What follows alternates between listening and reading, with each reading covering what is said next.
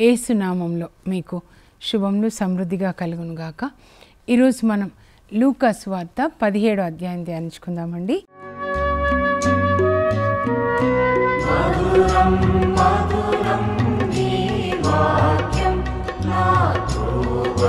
దీపం యేసు ప్రభు ముందుగా క్షమాపణను గురించి చెప్తారు. ఆ తర్వాత సేవకుని కర్తవ్యాన్ని గురించి ఆ తర్వాత పది మంది కుష్ఠరోగులు ఆ తర్వాత మహోపద్రవాలు చివరి రోజులలో యేసు ప్రభు వచ్చినప్పుడు ఆయన రాకకి ముందు ఏం జరుగుతుంది అని ఒక మూడు ఉదాహరణల ద్వారా చెప్తారు. నోవా కాలంలో ఎలా ఉందో ఇప్పుడు అలా ఉంటుంది. లోతు కాలంలో ఎలా ఉందో అలా ఉంటుంది. అలాగే లోతు భార్యని జ్ఞాపకం చేసుకోండి అని చెప్తారనమాట సో ముందుగా యేసు ప్రభు క్షమాపణను గురించి చెప్తూ ఉన్నారనమాట శిష్యులకి చెప్తున్నారు మీరు సువార్త బోధిస్తూ ఉంటారు లేదా మనము ఇంట్లో అలాగే పని చేసే చోట అలాగే సంఘంలో ఎలా ఉండాలి అని అంటే ఒకరినొకరు క్షమించుకోవాలి. నీ సోదరుడు నీ ఎడల తప్పిదం చేసిన ఎడల అతన్ని మందలించు. అతడు నన్ను మన్నించు నన్ను క్షమించు అని తన తప్పుని ఒప్పుకున్నప్పుడు ఆయనని క్షమించు. ఒకవేళ ఆయన ఏడు సార్లు వచ్చి నన్ను మన్నించు అని అన్నప్పుడు ఏడు సార్లు కూడా మన్నించండి. అంటే క్షమాపణ అనేది చాలా ముఖ్యం అన్నమాట యేసు ప్రభు యొక్క గుణ లక్షణాల్లో ప్రేమ కరుణ పరిశుద్ధత నీతి క్షమాపణ. సిలువలో ఆయనని హింసించిన వారి కొరకు ఆయన ప్రార్థించాడు. తండ్రి వీరేం చేయుచున్నారు వీరు ఎరుగరు కనుక వీరిని క్షమించండి. అలా మనం కూడా క్షమించుకోవాలి. కుటుంబాల్లో క్షమాపణ అనేది చాలా ముఖ్యమైందండి. భార్యాభర్తలు ఒకరినొకరు క్షమించుకోవాలి. తల్లిదండ్రులు పిల్లలు అత్త కోడలు వైస్ వర్స ఒకరినొకరు క్షమించుకోవాలి. మనము పాత విషయాలు జ్ఞాపకం ఉంచుకోవద్దు. యెషయా నలభై మూడు పద్దెనిమిదిలో దేవుడు చెప్తున్నారు. మీరు పాత సంగతులను జ్ఞాపకం ఉంచుకొనకండి. నేను ఇప్పుడు మీకు ఒక నూతన కార్యాన్ని చేయబోతున్నాను. అది ఇప్పుడే జరుగుతుంది.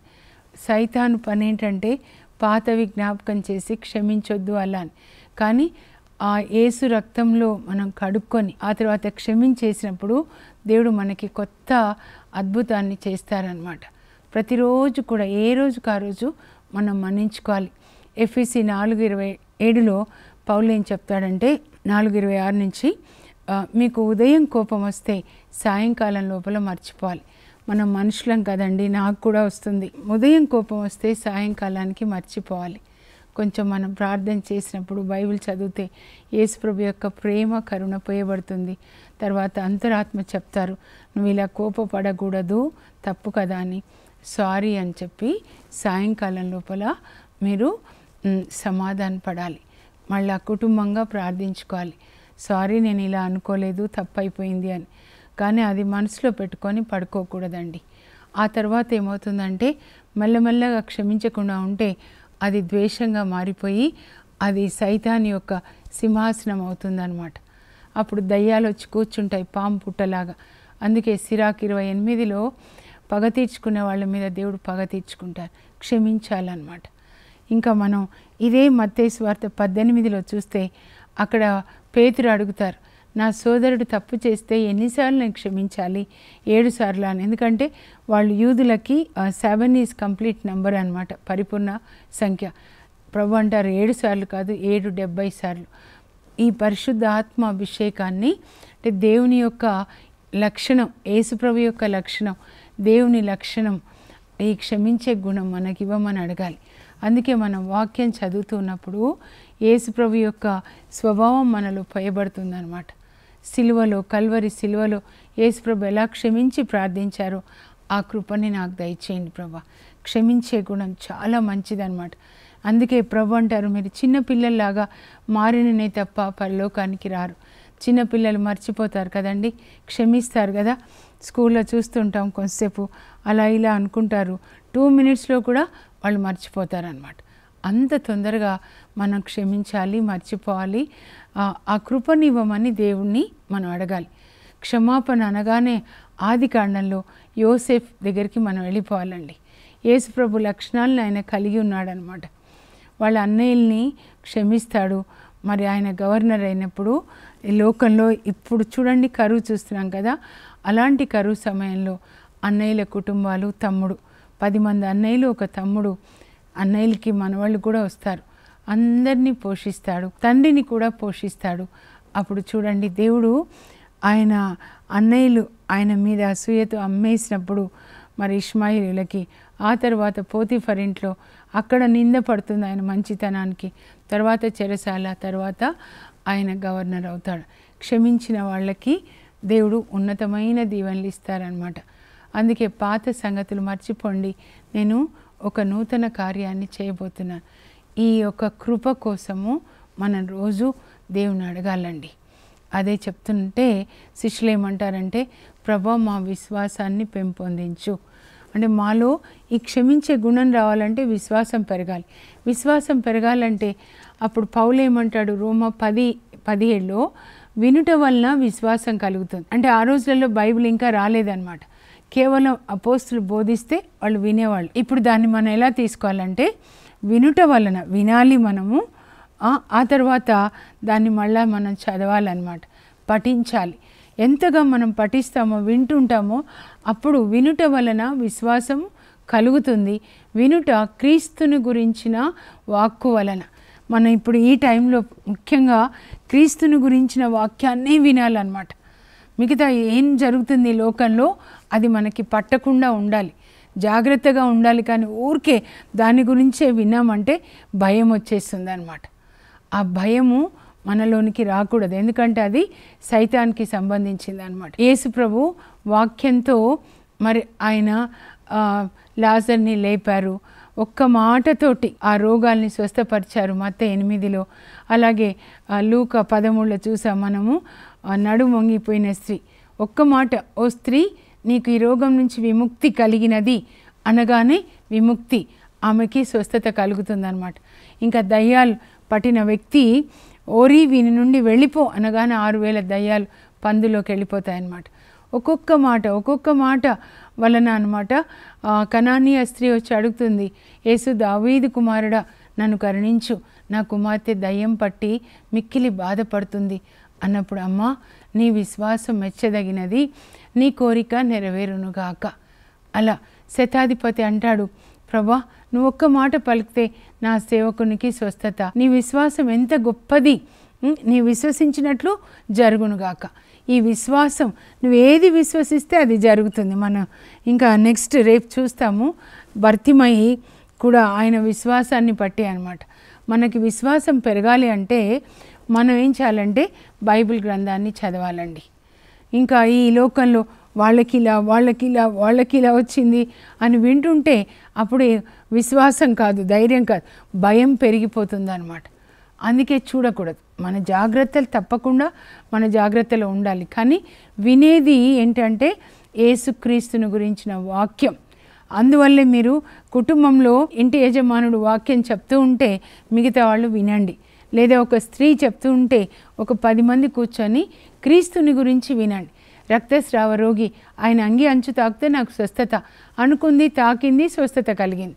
అలా మనం విశ్వాసాన్ని పెంపొందించుకోవాలి.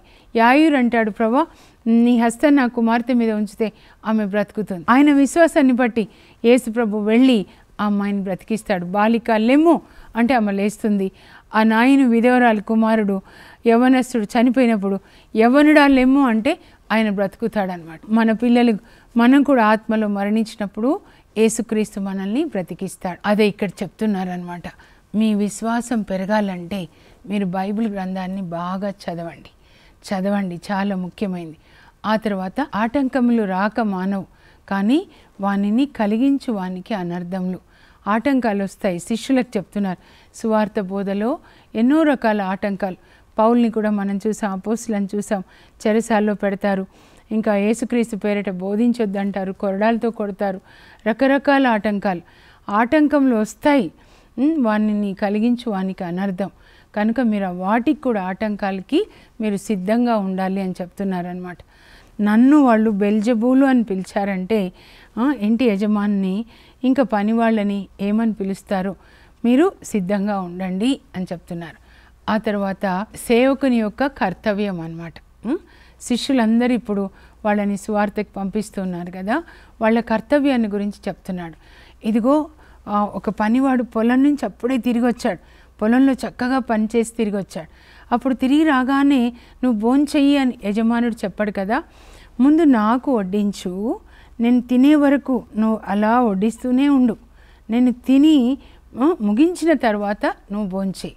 అలాగే ఏ సేవకుడైనా తన పనిని యజమానుడిచ్చిన పనిని ముగించిన తర్వాత ఏం చెప్పాలంటే మేము అయోగ్యులమగు సేవకులం. మేము మా కర్తవ్యంనే నిర్వర్తించితిమి. అయోగ్యులం అంటే అబ్బా ఎంత బాగా నేను పనిచేశాను అని కొన్నిసార్లు అనుకుంటాం కదా అలా మనం అనుకోవద్దు. అయోగ్యులం we are unworthy servants we have done only our duty కొన్నిసార్లు మనలో అలా అనిపిస్తుంది కదా నాలో కూడా అనమాట అయ్యో ఎంత బాగా పనిచేసాము ఎవరైనా మెచ్చుకుంటే బాగుండాలి కానీ అలా వద్దు అంటే వినయం కలిగి ఉండండి. మా పని మేము చేసాం ఆ తర్వాత యేసుప్రభు ఇప్పుడు ఆ గలిలియా నుంచి వస్తున్నారు కదండి యూదయాకి. ఇదంతా ప్రయాణం అనమాట లూకాస్ వార్తలో తొమ్మిది యాభై ఒకటి నుంచి యేసుప్రభు ఆ గలిలియా నుంచి యూదయాకు వస్తూ ఇదంతా మార్గ మధ్యం అనమాట అలా ఆయన గలిలియా సమారియా ఆ రెండు బార్డర్స్లో నడుస్తున్నారనమాట అక్కడ వచ్చినప్పుడు అలా నడుస్తూ ఉన్నప్పుడు ఒక గ్రామానికి వచ్చినప్పుడు పది మంది కుష్ఠరోగులు యేసుప్రభు దగ్గర వచ్చి ఓ యేసుప్రభు మమ్మల్ని కనికరించండి. ఎందుకంటే కుష్ఠరోగం వస్తే గ్రామంలో ఉండరండి. దూరంగా ఉంటారు వెలివేస్తారనమాట ఓ యేసుప్రభు మమ్మల్ని కనికరించండి అని చెప్పగానే యేసుప్రభుకి కనికరం కలిగి మీరు వెళ్ళి అర్చకునకు కనిపించండి.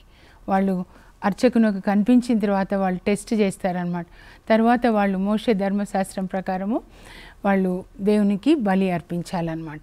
అప్పుడు ఆ టెస్ట్ చేసి బలి అయిపోయిన తర్వాత బలి అర్పించిన తర్వాత యాజకుడు చెప్తాడు అర్చకుడు ఇప్పుడు మీరు వెళ్ళి గ్రామంలో మిగతా ప్రజలతో కలిసి ఊర్లో మీరు నివసించవచ్చు అని. యేసుప్రభు అలా చెప్పిన తర్వాత వీళ్ళు అలా వెళ్తుంటారు ఇలా యేసుప్రభు ఇక్కడ ఉన్నారనుకోండి వీళ్ళు ఇలా వచ్చారు. అప్పుడు మీరు వెళ్ళి అర్చకులకు కనిపించండి అంటే వాళ్ళు వెళ్తూ ఉన్నారనమాట అప్పుడు వెళ్తూ ఉంటే దారిలోనే ఒక ఆయన గమనిస్తాడనమాట ఆయన కుష్టపోయి మంచిగా అయిపోయినట్లు అనమాట అబ్బా ఆయన ఎలుగెత్తి దేవుని స్తుతిస్తాడనమాట ఏసయా నీకు వందనాలు స్తోత్రాలు నీకు మహిమ నీకు ఆరాధనకు నువ్వు గొప్ప దేవుడు పరమ వైద్యుడు. అలా ఎలుగెత్తి దేవుని స్తుతిస్తూ మరి యేసు ప్రభు దగ్గరకు వచ్చి ఆయన పాదాల మీద పడి ఆయనకు వందనాలు చెప్తాడు. నువ్వెంత మంచి దేవుడు ఏసయ్యా. నువ్వు కరుణామయుడవయ్యా నాకు స్వస్థత కలిగింది అని. అప్పుడు ఏసుప్రభు అంటారు మిగిలిన తొమ్మిది మంది ఎక్కడ? పది మంది శుద్ధులు కాలేదా? తిరిగి వచ్చి కృతజ్ఞత చెప్పేది ఈ సమరీయుడు ఒక్కడేనా? అని చెప్పి అంటాడనమాట అని ఆ సమరీని వైపు చూసి నీ విశ్వాసం నేను స్వస్థపరిచింది లేచి వెళ్ళు. అంటే ఇంకా యేసుప్రభు పాదాలను అలాగే పట్టుకొని ఉన్నాడనమాట నీ విశ్వాసము నిన్ను స్వస్థపరిచినది. అంటే విశ్వాసం. యేసుప్రభు నా రక్షకుడు అని చెప్పనమాట. సో మిగిలిన తొమ్మిది మంది వాళ్ళు స్వస్థత పొందారు శరీరానికి వెళ్ళిపోయారు. కానీ ఈయన తిరిగి వచ్చి కృతజ్ఞత చెప్పినందుకు ఈయనకి రక్షణ వచ్చింది ఆత్మ కూడా రక్షించబడింది అనమాట అంటే మనం దేవునికి వందనాలు చెప్పడం అనేది చాలా ముఖ్యమైందండి. అన్ని విషయాల్లో ప్రతి విషయంలో మనం దేవునికి వందనాలు చెప్పాలి. లూకాస్ వార్తలో ఒకటో అధ్యాయం నలభై ఆరులో అక్కడి నుంచి మనం చూసాం మరియ తల్లి దేవునికి వందనాలు అర్పిస్తారు. ఎలిజబెత్ అమ్మ గర్భం తెరిచారు. ఆ తల్లి గర్భం తెరిచారు. మరి ఈమె దేవుని తల్లి ఆమె ఎలిజబెత్ అమ్మ ప్రవక్త తల్లి. నా హృదయం దేవుని శుతిస్తోంది నా ఆత్మ నా రక్షకుని అందు ఆనందిస్తుంది. ఏలయ్య నా సర్వశక్తిమంతుడు నా ఎడల గొప్ప కార్యాలు చేశారు. ఈ కృతజ్ఞత మన హృదయంలో ఉండాలండి. అప్పుడు అలాంటి హృదయంలో యేసు ప్రభు నివసిస్తారనమాట ప్రతి చిన్న దానికి కూడా దేవునికి వందనాలు చెప్పాలి. ఈ రోజు వరకు మనం జీవించాము అంటే ఆయనకి వందనాలు చెప్పాలి. ఈరోజు మనం దేవుని పని చేయాలి. ఇతరులకి ఒక మంచి పని చేయాలి. రేపు ఉంటామో లేదో తెలియదు మనకి కదా. నేనైతే అలాగే అనుకుంటానండి. రేపు ఉంటానో లేదో. ఇప్పుడైతే దేవుని వాక్యం నేను బోధిస్తే పైనకి వెళ్ళిన తర్వాత కూడా ఈ వాక్యాలు మరి అందరికీ ఆశీర్వాదకరంగా ఉంటాయి కదా. అది ఈ కరోనా వచ్చిన తర్వాత ఇంకా ఎక్కువ నా మనసులో పడిపోయిందనమాట దేవునికి ప్రతి విషయంలో కూడా ఒకటి తెస్సలోనిక ఐదు అధ్యాయంలో మూడు మాటలు చెప్తున్నారండి. అక్కడ పౌలు మీరు సర్వదా సంతోషంగా ఉండండి సదా ప్రార్థించండి. అన్ని విషయాల్లో దేవునికి కృతజ్ఞతలు చెప్పండి. మీ విషయంలో యేసుక్రీస్తునందు దేవుడు మిమ్మల్ని కోరుకునేది ఇదే. అన్ని విషయాలు అన్ని అంటే అన్ని విషయాలంటే కష్ట సమయంలో సుఖంలో. ప్రభా మీరు ఈ వైరస్ ఇచ్చారు మీకు వందనాలని చెప్పాలి. ఎందుకంటే ఈ వైరస్ వల్ల కూడా చాలామంది వినయాన్ని దైవభీతిని అలవర్చుకుంటూ ఉన్నారనమాట చాలామంది ఈ లోకం నుంచి తప్పిపోయిన కుమారుడు వచ్చినట్లుగా దేవుని దగ్గరికి వస్తూ ఉన్నారని ఈ విధంగా దేవుడు డిసిప్లిన్ చేస్తూ ఉన్నారనమాట తన బిడ్డలకి దైవభీతిని ఆయన నేర్పిస్తూ ఉన్నారు. ఏదైనా కావచ్చు పరిస్థితి అన్ని పరిస్థితుల్లో మనం దేవునికి వందనాలు అర్పించాలి అని చెప్తున్నారు. ఇప్పుడు మధురం నీ వాక్యంలో చిన్న విరామం తీసుకుందాం.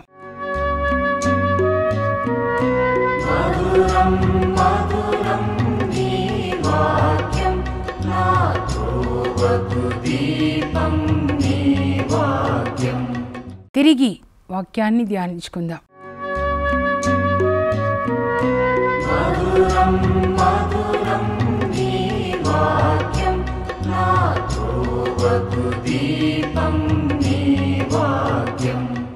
ఇంకా పరిశైలు ఏసుప్రభుని ఒక ప్రశ్న వేస్తారు. ప్రభా దేవుని రాజ్యం ఎప్పుడు వస్తుంది అని. అప్పుడు ప్రభు చెప్తారు దేవుని రాజ్యము ఇదిగో ఇక్కడ ఉంది అక్కడ ఉంది అన్నట్లుగా రాదు.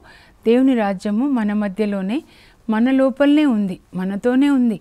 దేవుని రాజ్యం అంటే ఏసుప్రభు ప్రభు ఆయన చెప్పే వాక్యం. రాజ్యంలో ఒక రాజు రాజు కొన్ని శాసనాలు చేస్తాడు. ఇలా జీవించాలి దేవుని రాజ్యం దేవుని బిడ్డలు అని. అది మనలోనే మన హృదయంలోనే పరిశుద్ధాత్మ దేవుడు యేసు ప్రభు పరలోక తండ్రి నివసిస్తే అదే దేవుని రాజ్యం. అక్కడ పరిశుద్ధాత్మ మన హృదయంలో ఈ వాక్యాలన్నీ రాసి శాసనాలన్నీ రాసి ఇలా మీరు జీవించాలి. ఇప్పుడు కూడా మనం వింటున్నాం కదా క్షమించాలి అని చెప్తున్నారు. సేవకుని కర్తవ్యము తర్వాత వందనాలు చెప్పాలి అని చెప్తున్నారనమాట యేసుప్రభు కోరుకుంటున్నారు పది మంది వచ్చి వందనాలు చెప్తారని కానీ ఒక్కడే అది కూడా సమరీయుడు అనమాట సమరీలు అంటే వీళ్ళు అంటరాని వాళ్ళుగా చూస్తారండి యూదులు. ఎందుకంటే ఈ ఈ యూదులు అసిరియా రాజు వీళ్ళని ఇజ్రాయెల్ దేశాన్ని అటాక్ చేసినప్పుడు ఆ అసిరియన్లుని కొంతమందిని ఇక్కడ ఉంచుతాడనమాట ఇజ్రాయెల్ ప్రజల్ని తీసుకెళ్ళి వాళ్ళ దేశానికి ఈ అసిరియన్లని పెళ్ళి చేసుకుంటే యూదులు అసిరియన్లను పెళ్ళి చేసుకుంటే పుట్టిన వాళ్ళని సమరీలు అంటారనమాట ఎందుకంటే వాళ్ళు సున్నతి చేసుకుంటారు కదండి. యూదులకి చాలా ముఖ్యమైనది అనమాట అబ్రాహం సంతతి వాళ్ళు. ఇంకా వాళ్ళు సున్నతి చేసుకొని వాళ్ళని పెళ్ళి చేసుకున్నారు అసిరియన్లని. కనుక ఈ యూదులు ఏం చేస్తారంటే సమరీలని వెలివేసేశారనమాట అంటరాని వాళ్ళుగా చూస్తారు. ఇంకా ఎరుషలేం దేవాలయంలో ఆరాధనకి కూడా వాళ్ళని రానివ్వరు అనమాట అందుకే సమరీలు వాళ్ళ ఆ సమరియా దేశంలో సమారియాలో వాళ్ళు గెరిజిం కొండ మీద దేవాలయాన్ని కట్టుకొని అక్కడ దేవుణ్ణి ఆరాధిస్తారనమాట అందుకే సమారియా అంటుంది మీ యూదులేమో అక్కడ ఆరాధిస్తున్నారు మేము ఇక్కడ ఆరాధిస్తున్నాం. వాళ్ళు అక్కడ ఆరాధిస్తేనే మనకి మరి పరలోకం అని చెప్తారు అని అడుగుతుంది కదా అదనమాట సో ఈ సమరీయులని యూదులు ఎంత నీచంగా చూస్తారు కానీ దేవుని దృష్టిలో వాళ్ళే గొప్పగా ఉన్నారు. అప్పుడు చూడండి మంచి సమరీయుడు. ఆ ఉపమానంలో యాజకుడు వెళ్ళాడు లేవీయుడు వెళ్ళాడు కానీ మంచి సమరీయుడు ఆ కొనబూపురితో ఉన్న వ్యక్తికి మరి తన సహాయం చేశాడు. ఒక పొరుగువాణిగా అనమాట అన్నమాట. ఇక్కడ చూడండి సమరీయుడు వచ్చి కృతజ్ఞత చెప్పాడు. కృతజ్ఞత చెప్పడం అనేది చాలా ముఖ్యమైందండి. ఏ- యేసుప్రభు ఐదు రొట్టెలు తీసుకొని రెండు చేపలు తీసుకొని దేవునికి కృతజ్ఞత చెప్పినప్పుడు దేవుని యొక్క అద్భుత శక్తి వాటి మీద వచ్చి అవి పెరగడం ప్రారంభించాయి అన్నమాట. ఆ రొట్టెలు చేపలు పెరగడం ప్రారంభించాయి. అలాగే మనం కూడా ప్రతి విషయంలో దేవునికి వందనాలు చెప్పడం నేర్చుకోవాలండి. ఆ తర్వాత మహోపద్రవాలు అంటే దేవుని రాజ్యము ఎప్పుడు వస్తుంది అని కదా? అయితే ఇక్కడ అక్కడ కాదు మనలోనే. దేవుని రాజ్యం మీ మధ్యలో మీలోనే ఉంది. దేవుని రాజ్యము ఉంది కొంతమందిలో కొంతమందిలో సైతాన్ రాజ్యం ఉందని. నీతి రాజ్యము అవినీతి రాజ్యం అన్నమాట. గోధుమలు గురుగులు. ప్రక్క ప్రక్కనే గోధుమలు ఏంటంటే ఫలిస్తాయి అన్నమాట. ఫలిస్తూ ఉన్నాయి అన్నమాట. ఫలాలను ఇస్తూ ఉన్నాయి. ప్రేమ కరుణ ఆనందం. మరి గురుగులు ఏంటంటే కలుపులు అవి ఫలాలను ఇవ్వవు అనమాట రెండు రకాల మనుషులు ఒక చోటనే ఉంటారనమాట ఇంకా ప్రభు ఏమంటారంటే మీరు మనుష్య కుమారుని కాలంలో ఒకరోజు చూడాలనుకుంటారు కానీ చూడలేరు. ఇదిగో ఇక్కడ అదిగో అక్కడ వచ్చాడు క్రీస్తు అంటే మీరు పరిగెత్తొద్దు. ఆయన రాకడ ఎలా ఉంటుందంటే తూర్పు నుండి పడమరకి మెరుపు మెరిసినట్లుగా ఉంటుంది. అంటే మెరుపు మెరిస్తే తూర్పు నుండి పడమరకి అందరూ చూస్తారు కదా అలా ఉంటుంది అని చెప్పి యేసుప్రభు వచ్చే కా టైంకి రెండవ రాకడకి ఎలాంటి దినాలు అనంటే నోవా కాలంలో ప్రజలు ఎలా ఉన్నారో మనుష్య కుమారుని కాలంలో కూడా అలాగే ఉంటారు. నోవాకాలం ఆది కాండం ఆరో అధ్యాయం మీరు చదివితే ఐదు నుంచి అక్కడ ప్రజలు పరమ దుష్టులైపోయారు. వాళ్ళ ఆలోచనలు ఎప్పుడూ ఇతరులకి మరి చెడు చేయాలి అనే ఆలోచనలు కలిగి ఉంటాయంట. దుష్టుల లక్షణాలు అన్నమాట కానీ నీతిమంతులు ఎప్పుడు మేలు చేయాలి ఇతరులకు ఏసుప్రభులాగా అనమాట ఆ నోవా కాలంలో ప్రజలు తినుచు త్రాగుచు వివాహములు ఆడుచు ఉండిరి. తింటూ ఉన్నారంట పార్టీలు తాగడం అనమాట పార్టీలు పెళ్ళిళ్ళు చేసుకుంటూ ఉన్నారు. మనుష్య కుమారుని కాలంలో కూడా అలాగే ఉంటుంది. అలాగే ఇంకా ఆదికాండం ఆరు చెప్పాను కదండి. ఆ టైంలో ఏంటంటే నోవా కాలంలో వైలెన్స్ సెక్స్ మనీ అండి. హింస. మనుషులు భార్యాభర్తలు కూడా ఒకరినొకరు హింసించుకోవడం మాటల ద్వారా కానీ అలా. హింస ఆ తర్వాత సెక్స్. పాపపు బొమ్మలు చూడడం. సెక్స్ అంటే మనస్సుతో అన్నమాట. ఫిజికల్గా అని కాదు పాపం చూడడానికి ఇష్టపడుతుంటారు. అందుకే ఏ అడ్వర్టైజ్మెంట్ అయినా చూడండి ఇంకా కళ్ళు మూసుకోవాలన్నమాట. భయంకరమైనది. ఇప్పుడు కళ్ళతోనే వ్యభిచారము హత్యలు నాలుకతో అని చెప్తారనమాట ఆ తర్వాత ఇంకా మనీ చాలా డబ్బు. చూడండి ఇప్పుడు అమెరికాలో వాళ్ళకి నెలకి నాలుగు లక్షలు ఐదు లక్షలు వస్తూ ఉంటుంది. మనకి ఇక్కడ టీచర్గా నేను కూడా పనిచేశాను ఐదు వేలు పదివేలు అట్లా వస్తుంది. అంత డబ్బు వచ్చేసరికి పాపం తొందరగా చేయడానికి అవకాశం అన్నమాట. అలా ఉంటుందని చెప్పి ఇంకా ఏం చెప్తారంటే లోతు కాలంలో ఎలా ఉందో అలాగే ఉంటుంది అప్పుడు కూడా ప్రజలు తినుచు త్రాగుచు ఇంకా వివాహాలు ఆడుతూ సేద్యం చేస్తూ క్రయ విక్రయములు చేస్తూ బిజినెస్ అన్నమాట చాలా. బిజినెస్ చేస్తూ గృహాల్ని నిర్మించుకుంటూ ఉన్నారంట. కన్స్ట్రక్షన్ విల్ ఇంక్రీజ్ లాస్ట్ డేస్లో travelling will increase construction will increase దాని ఎలా ఉంటుంది? Knowledge will increase pervert knowledge అనమాట అతి తెలివి అంటారు చూడండి. ఆ అంత్యక్రీస్తు దయ్యపు నాలెడ్జ్ అనమాట దయ్యంలో నాలెడ్జ్ ఎక్కువైపోతుంది అనమాట హింస సెక్స్ తినడము మానవుని యొక్క మానవుడు పడిపోతాడు అనమాట నైతిక విలువ లేకుండా పతనం అయిపోతాడు మత్త ఇరవై నాలుగు పదిలో చెప్తారు చూడండి. ఈ దేహం దేవుని యొక్క ఆలయము. దేవుడు ఈ దేహంలో నివసిస్తున్నారు. కనుక నేనేం చూడాలి ఏం మాట్లాడాలి ఏం వినాలి ఆ తర్వాత పొరుగు వాడి పట్ల కరుణ కలిగి ఉండాలి. అవి ఏమి లాలెస్నెస్ అండి. అంత్యక్రీస్తు సైతాను పుత్రుడు ఎవరంటే మనిషిని పతనం చేసే ఆత్మ అన్నమాట. మనుషులకి ధనాశ కావాలి. అంతేకాని దైవభీతి లేదు. తల్లిదండ్రుల మీద ఒక గౌరవం ఉండదు. పొరుగు వాళ్ళ మీద ప్రేమ ఉండదు. క్షమాపణ ఉండదు. హెరోద్ అంతిపాస్ చూడండి. అలాంటి లక్షణాలు అన్నమాట రెండో తిమోతి మూడులో మీరు ప్రతిరోజు చదవండి. అది అంత్యక్రీస్తు హృదయంలోంచి యేసుప్రభుని తీసేసి ఆయన కరుణ నీతి తీసేసి క్రియలు అనమాట అంత్యక్రీస్తు అంటే ఆపోజిట్ ఆఫ్ క్రీస్ట్ క్రైస్ట్ అనమాట యేసుప్రభు క్షమించమంటే అంత్యక్రీస్తు క్షమించొద్దు. పరిశుద్ధత అంటే కాదు పాపము. అలా వ్యతిరేకమైందనమాట లోకాన్ని ప్రేమించొద్దంటే లోకాన్ని ప్రేమించండి. ఇలా చివరి రోజులలో ఉంటుంది. తర్వాత లోతు భార్యని జ్ఞాపకం చేసుకోండి. మూడు చెప్తున్నారు. నోవా కాలంలో ప్రజలేంటి? తింటూ త్రాగుచ్చు వివాహాలు ఇంకా వైలెన్స్ సెక్స్ మనీ. లోతు కాలంలో కూడా అంతే. ఇంకా ఎక్కువ కదా? ఆది కాలం పంతొమ్మిదిలో ఆ సెక్స్ ఎంతవరకు పతనం అయిపోయినారంటే మగవాళ్ళు మగవాళ్ళతోటే. ఇంకా దాన్ని లీగలైజ్ చేస్తున్నారు. ఎంత భయంకరమైన పాపం అనమాట రోమా ఒకటో అధ్యాయంలో పౌలు రాస్తాడు పతనమైన స్థితి. ఎవరి మనుషులని పతనం చేసేదంటే సైతాను పుత్రుడు అంత్యక్రీస్తు అనమాట యేసుప్రభు ఏదైతే చెప్పాడో యేసుప్రభు యొక్క క్యారెక్టర్ ఏదైతే ఉందో దానికి వ్యతిరేకమైన క్యారెక్టరే సైతాను పుత్రుని యొక్క క్యారెక్టర్. యేసుప్రభు నీతిమంతుడు కరుణామయుడు క్షమాకరుడు ఆ తర్వాత దేవుని చిత్తం చేస్తూ ఉన్నాడు.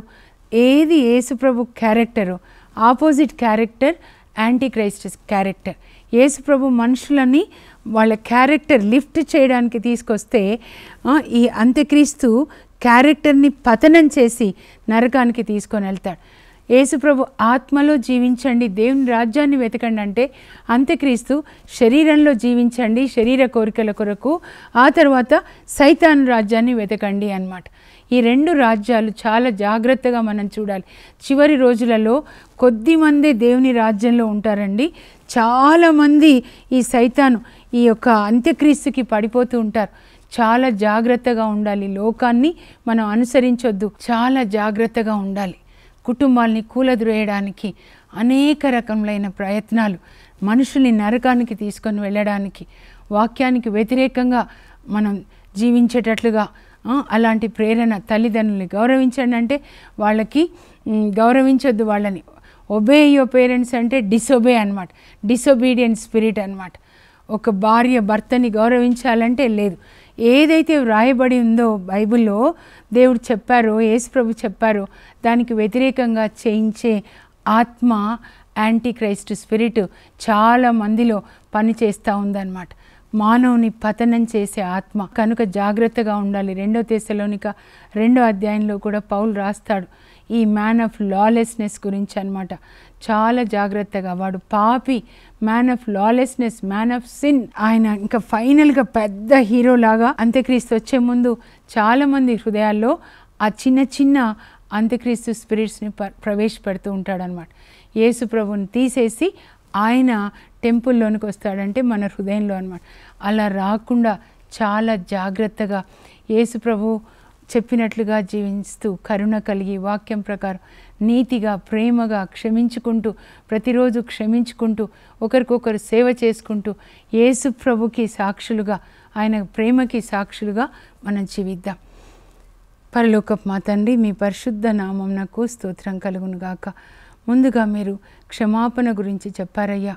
ప్రతిరోజు మీరు క్షమించుకోవాలి. ఏడు సార్లు తప్పు చేస్తే ఏడు సార్లు సారీ చెప్తే మీరు క్షమించుకోవాలి క్షమించాలి అని చెప్తున్నారు. అలాంటి పరిశుద్ధ ఆత్మని మాకు దయచేయండి ప్రభా. అలాగే కృతజ్ఞత చెప్పే ఆత్మని హృదయాన్ని మాకు దయచేయండి. ప్రతి విషయంలో కృతజ్ఞత చెప్పడానికి ఈ చివరి రోజులలో జాగ్రత్తగా ఉండండి. మరి ఎలా నోవా కాలంలో ప్రజలు తింటూ త్రాగుచు వివాహాలు ఆడుతూ ఉన్నారు మరి అక్కడ చాలా హింస అలాగే సెక్స్ అలాగే డబ్బు అలాంటి పరిస్థితి ఉంటుంది అంటున్నారు. లోతు కాలంలో ఇంకా పాపం ఎక్కువైపోయి మగవాళ్ళు మగవాళ్ళతో పాపం చేసే అంత స్థితిలో మరి ఆ అంత్యక్రీస్తు పతనం చేస్తాడు మనుషులని. కనుక జాగ్రత్తగా ఉండడానికి మాకు కృప దయచేయండి ప్రభా. ఏసు నామంలో అడుగుచున్నాం తండ్రి. ఆమె ఈ అంత్యక్రీస్తు మనలోనికి రాకుండా ఈ లోకం మనలోనికి రాకుండా యేసు ప్రభు ప్రేమతో మనం నింపబడదాం. God bless you.